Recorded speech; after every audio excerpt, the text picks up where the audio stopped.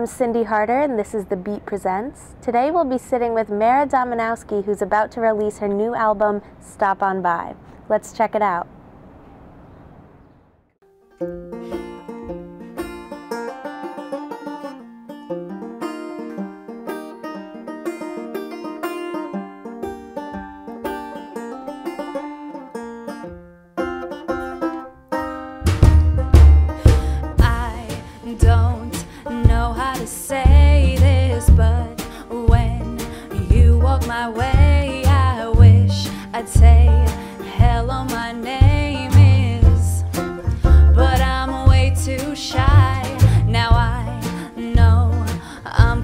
Kinda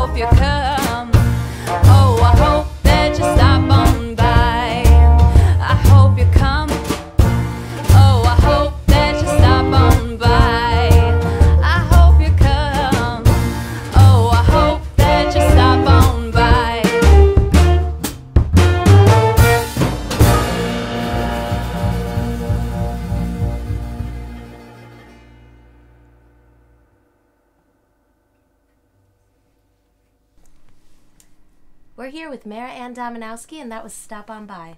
Thanks for coming, Mara. Thank you so much for having me. So you just uh, you're just about to release your first full length album, Yes, uh, yes. also called Stop St- On By. Yes, the album is called Stop On By, and it should be all finished and ready by May or June. Great. Uh, and you you recently you did a Kickstarter for the album to, to raise some money for yes, the album. yes, it was very successful. I was asking for two thousand dollars, which I was not expecting to make, and we ended up making over three thousand. Wow. So I was very lucky. I didn't. I wasn't expecting that. Yeah, that's And great. What do you? What are you gonna put it towards? Um, the Kickstarter money is going to go towards CD replication, reproduction, mixing, mastering, and um, yeah, it's photos. Great. Yeah. So the album, it's a country album. Yes, it is Uh, a and of course, album. you're from Staten Island. Right. So how did uh, what what what makes you want to make country music? Um, well, my whole family is from Wisconsin, and my mother comes from a dairy farm in Mosinee, um, town of four thousand people. It's, it's so small, and um, my uncle is in charge of the farm now. It used to be my grandparents, but now my uncle is in charge. And when I was a kid, you know, we'd go back two or three times a year. We'd stay for a really long time, um, and so I I, I was like a city kid, kind of, but also a farm kid. I grew up kind of helping my uncle out with the chores. I'd bale hay, ride four wheelers around, you know, and you know, they my mom grew up listening to Patsy Cline and Hank Williams and Kenny Rogers and whatnot, and so that's what I grew up with. Uh, you I can't help from writing Yeah. it. Cool. It's not I- even a choice. Yeah, I um, I what I like about your music is you also have kind of a, a different flair to it. You know, with Mm-hmm. the with the brass especially, almost like a, um, like a Dixieland Yeah, or like yeah. Southern gospel kind of. Wh- where does that come from? Well, Dixieland is another. It's like a subgenre of country Yeah, yeah. music. So, you know, listening to one genre, you listen to all the other ones as well, and you just incorporate them. Yeah. It's uh, Dixieland's a lot of fun. Yeah. How many other people in the studio comp major here do country? Like, are you one of the few? Yeah, there aren't many people that do country music. Not, uh, I think I'm the only one You, that Dana. Uh, Dana. Dana didn't. Yeah, I, I'm really focused on country. Dana's Yeah. written some super Right. poppy music as well, but How is she's that? great country singer. Of, how is it being kind of one of the only couple of people doing country here? I don't mind. There's not a lot of competition with country music, you know. Yeah. Um, At least here. At least here, at least here, there is yeah huge competition. You go somewhere else, but right. Um, Awesome. Yeah, and and your style is it's not necessarily like very contemporary Mm-hmm. modern country. I mean, you don't sound like Carrie Underwood. no, no, Uh, you we, know, we like to go old school. Right. The you know you're like you mentioned Patsy Cline, Hank Yeah. Williams, like that kind of stuff. So Yeah. I mean, do you are you conscious of that when you're writing it that you're Yeah, decidedly absolutely. doing something kind of different? Yeah? I'm not. Yeah, it's not really me to do like the Taylor Swift Mm-hmm. and Carrie Underwood stuff. As much as I love them, you know, it, they're just not my biggest influences. Yeah.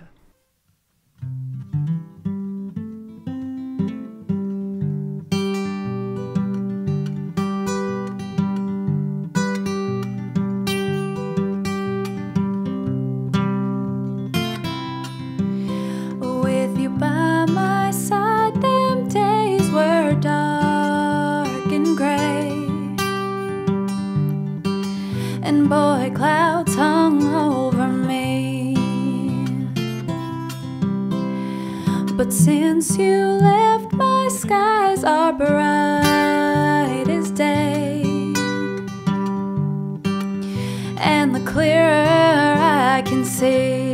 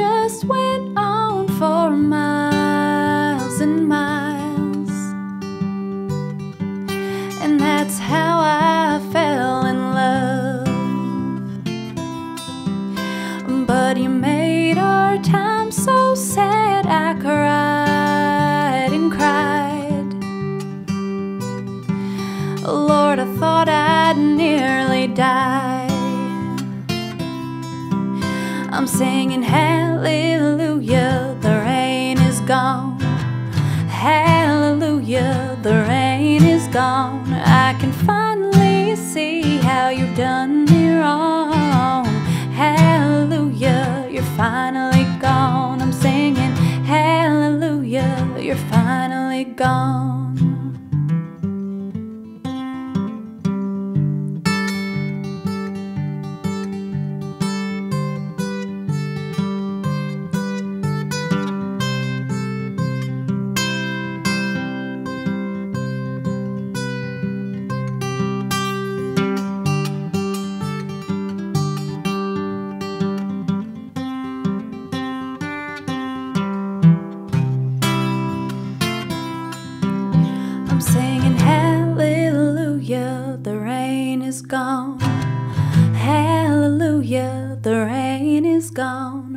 Can finally see how you've done me wrong. Hallelujah, you're finally gone. I'm singing, Hallelujah, you're finally gone.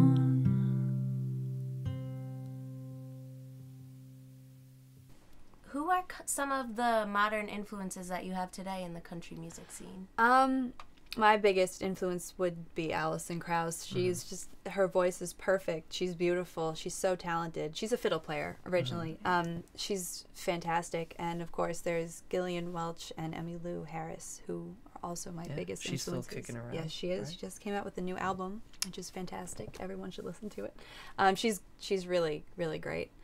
Uh, I mean, speaking of influences, what, you know, was there a specific moment that you started writing country music, or like what what really pushed you to start writing Um, country music? Well, I went to a performing arts high school. I went to LaGuardia High School in New York City, and they had a songwriting class there. And so I thought it sounded interesting. So I auditioned. I wrote some god awful song, you know, and I got in, and I was able to take the class. And all the music that I would write, everybody just said that you have to be a country singer. You sound it sounds like you're writing country music, and of course I was not all about that. I wanted to write R and B or some, you know, and you know, not Yeah. country. And I would kind of try to go like get away from that, you know, you know, back when I was younger. But it just everyone kept saying you sound like a country singer. You should just stick with country, and I, I grew to love it. Do you ever go back and kind of try and write things that aren't country now?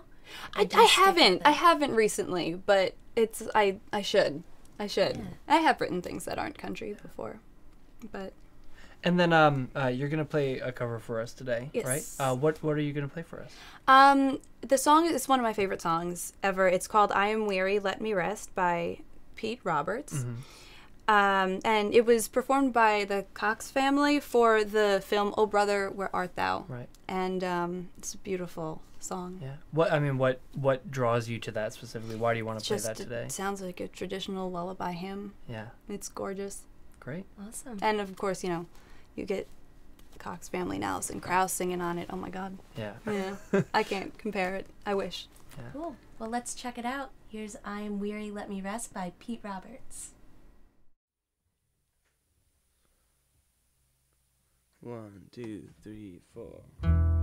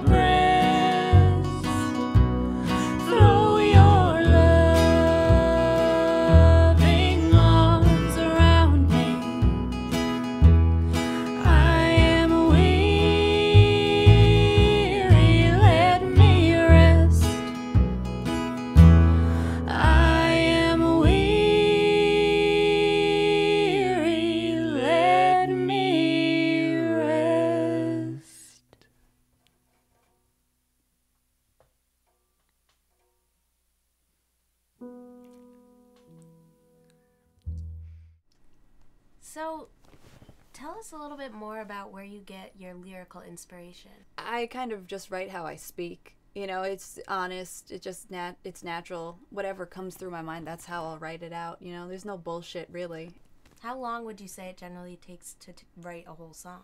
It really all depends. You know, it how how it's moving. You know, it could take a day. You know, to months. I've worked on songs for months. Like I, I've worked on them. I put them away. I've come back. I put them back away. You know, it. Is there a specific song on this album that that's like that? Oh, um, let's see. I'd have to think of all the songs. Um, well, like the song "Lovin' Tonight." "Lovin' Tonight" will be on the album. It's I wrote that when I was in high school, Mm-hmm. and you know I've definitely reworked that one. That's been, you know, we just did a brand new arrangement Yeah. for the album. You know, it's it's changed so much. It Yeah. years.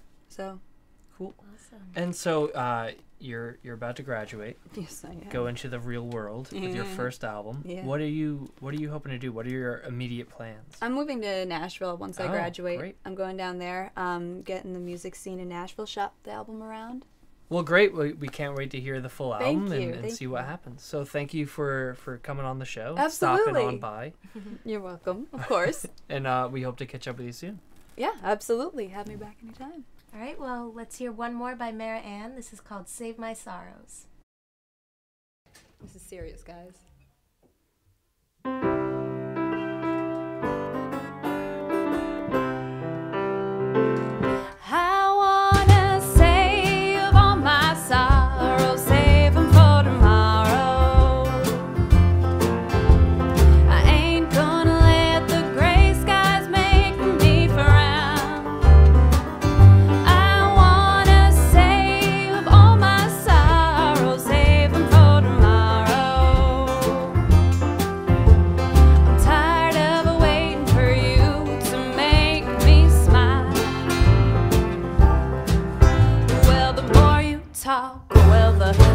Hear. The more I wanna make my troubles disappear. And the more I think, well, the more I drink.